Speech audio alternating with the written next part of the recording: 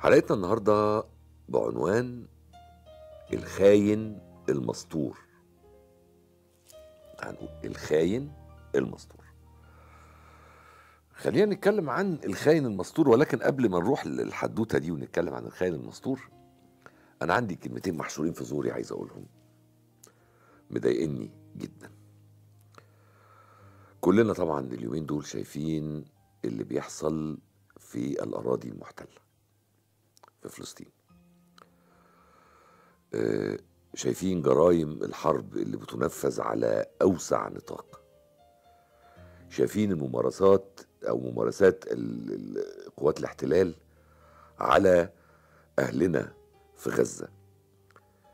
شايفين حرب غير متكافئة ولا يجوز أن نطلق عليها كلمة حرب لأن النهارده هم بيتكلموا ويقولوا إحنا داخلين حرب وإحنا هنحارب وعندنا مجلس حرب وإنها دي مش حرب بأي شكل من الأشكال. الحرب بتبقى ما بين جيوش ما ينفعش تبقى ما بين جيش وعزل. دي ما تبقاش حرب دي نطلق عليها إبادة إبادة جماعية. هولوكوست يعني. لما النهاردة ناس عزل ستات وأطفال ورجالة كبار في السن وشباب حتى ورجالة في بيوتهم كانوا عايشين في أمان لا يحمل سلاح كل همه في حياته إنه يخرج الصبح يسعى لأكل عيشه عشان يرجع بلقمة ومصاريف بيته ومصاريف ولاده. لما نشوف دول النهارده بيتضربوا بالطيارات دي تبقى جرائم حرب. لما نشوف أماكن النهارده بتتحرق بالكامل بقذيفة طيارة دي جرائم حرب. لما يضربوا عزل بيهربوا ووصلوا لحد المعابر دي جرائم حرب. لما يقطعوا الأكل والمية والكهرباء والأدوية وكل المستلزمات عن ناس غلابة عايشة في حالها دي جرائم حرب. لما يخصفوا مستشفيات ومساجد دي جرائم حرب. لما يخصفوا أحياء بالكامل دي جرائم حرب.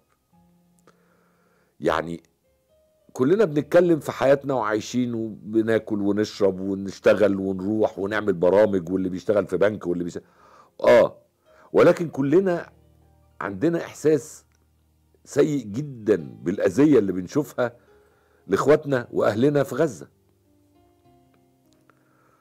النهارده قوات الاحتلال كل الهدف الرئيسي بتاعها تفريغ غزة من كل الفلسطينيين اللي عايشين فيها وتهجيرهم وخروجهم من غزة علشان تصبح الأرض بالكامل ملكهم. بالشكل ده هتنتهي القضية الفلسطينية تماما مش هيبقى في قضية فلسطينية. خلصت الحدوتة.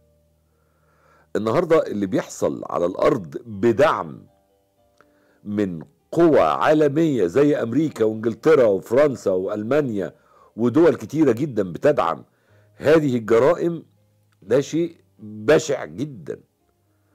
الغريبة في الموضوع إن إحنا كعالم عربي لازم يكون لنا وقفة لازم يكون لنا وقفة. دول عربية كتير لازم يكون لها وقفة لازم يحصل حاجة. يعني بجد أنا مش عارف أقول إيه. شيء مؤسف ومؤذي جدا وكلنا كمصريين متضايقين جدا وكلنا مستائين جدا وحالتنا النفسية سيئة جدا وقلوبنا مع آه، الشعب الفلسطيني في غزة. خالص العزاء لألافات الشهداء اللي توفوا. وخليني أركز على إنهم شهداء. شهداء. خالص العزاء لأسر الافات الشهداء. ونتمنى الش- الشفاء للالافات المؤلفة المصابين اللي محتاجين حباية دواء محتاجين حقنة محتاجين سرير في مستشفى. ومع الأسف من ضمن جرائم الحرب اللي بيرتكبوها هؤلاء إن بيقصفوا هذه المستشفيات ويخلوا هذه المستشفيات. يعني بجد أنا في حالة حزن مريت بتجارب كتير جدا في حياتي وشفت حروب كتير لكن المرة دي في عصرة غصة في القلب من اللي بيحصل في غزة. آه، من قناة أوبلس أنا بأعلن تأييدي للشعب الفلسطيني الحر. آه، بأعلن تأييدي ل... ل... لكفاح الشعب الفلسطيني ضد قوى الاحتلال الغاشم قوى الاحتلال المجرم وبقولها بقلب وبقولها بجد من قلبي.